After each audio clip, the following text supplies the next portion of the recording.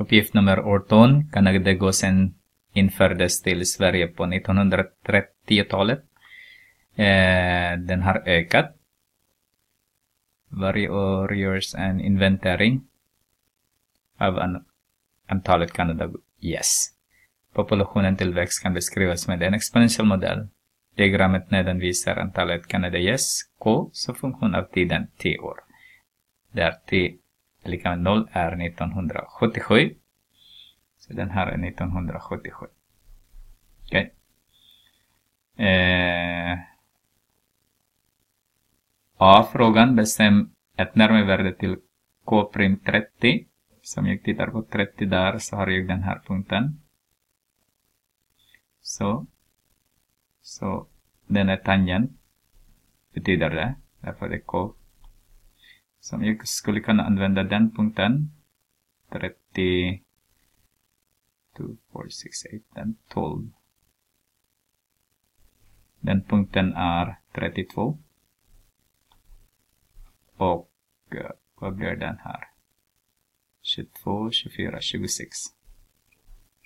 Och den här punkten är 30 och kan använda 22, 23.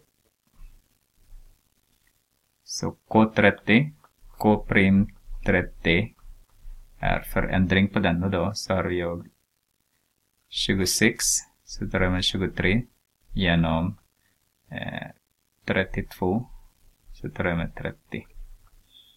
Så har jag eh, 3 genom 2 och det är cirka 1,5 eh, stycken per år egentligen är det. Jag glömde att vi pratar om tusen, så det ska vara tusen den här. Eh, det är där med två år, det ska vara 1500.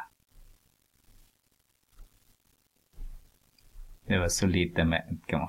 1500 stycken per år, ungefär. Tror jag. Jag har inte kollat facit, så vi får se. Mm. Eh, B. gentolkning av vad K'20, det betyder här 20. Det ligger med 800 betyder för antalet kanadensiskt i detta sammanhang är 19 1997. Det ökar 800 ju. 800 stycken per år. Det betyder det i det här sammanhanget.